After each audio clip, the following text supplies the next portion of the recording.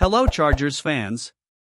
If you're eager to keep up with the latest news about the Los Angeles Chargers, be sure to subscribe and like our channel so you don't miss any details. Today, we bring you hot information about the future of Justin Herbert, possible draft prospects, and even the hiring of former coaches of the team. So stay tuned for all of this and much more. The NFL offseason is full of rumors and speculation, and as you might expect, the Los Angeles Chargers are in the middle of it all.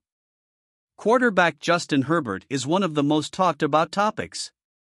ESPN's Bill Barnwell projects that the Chargers will extend Herbert's contract for another five years at a value of $251 million, which would make him the second highest paid player in the league, behind only Patrick Mahomes. It is the first opportunity the team has had to extend the quarterback's contract, and with other young players also up for negotiation, it is possible that they will look to close the extension before other QBs receive new deals. In addition, the team is eyeing some prospects for the 2023 NFL Draft. Justin Melo of the Draft Network reported that the Chargers are doing their homework on McClendon Curtis, a 6'7, 340 pound powerful offensive guard from Chattanooga who is compared to former teammate DJ Fluker. Don't miss any news about the Los Angeles Chargers next NFL season.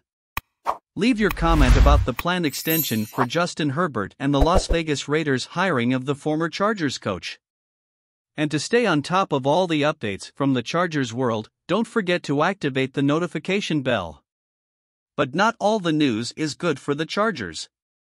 The team's former special teams coordinator, Derius Swinton, has been hired by the Las Vegas Raiders as a special teams assistant.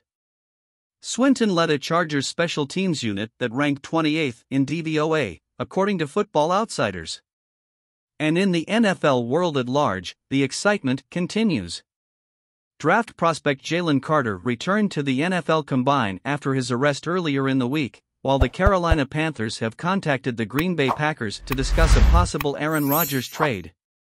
And on the Baltimore Ravens, wide receiver Rashod Bateman expressed his dissatisfaction with the team's general manager's comments about receivers.